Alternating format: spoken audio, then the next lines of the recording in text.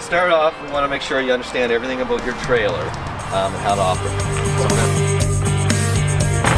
just slides up okay? It.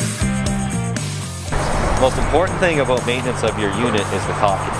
You have to check this every three to six months.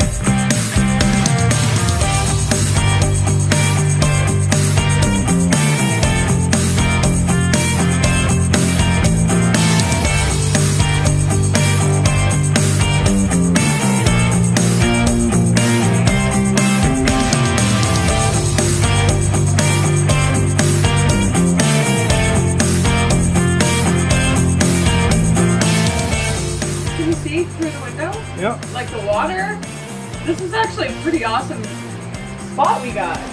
It's been crappy all day and now it's so beautiful.